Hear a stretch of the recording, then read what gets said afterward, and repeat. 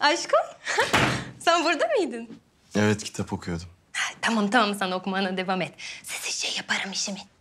Ne işin var ki? Ya şimdi kışlık yorganları çıkaracağım.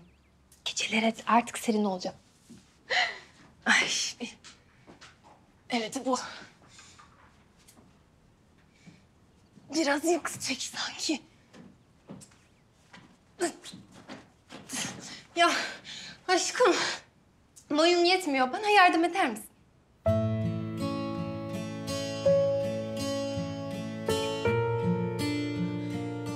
Ay, Ay. Hayatım çok özür dilerim. Tabii. Bir an için yarın bir adam olduğumu unuttum.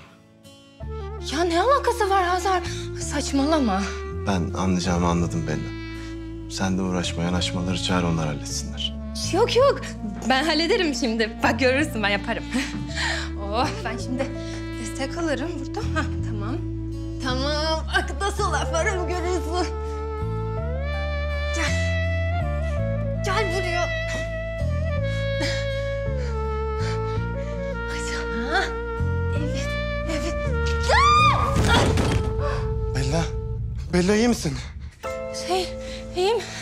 İyiyim. Bir şeyim yok. İyiyim, iyiyim. Sana inanamıyorum ya Bella.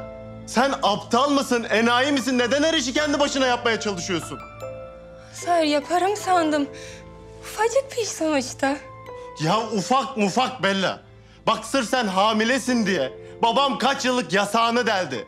Eve yanaşmaları getirdi. Neden hala her işi kendi başına çözmeye çalışıyorsun? Ama Hazar... Aması yok Bella.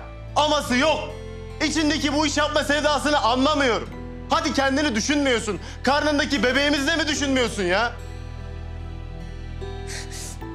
Ha bir de ağla, ağla tam olsun.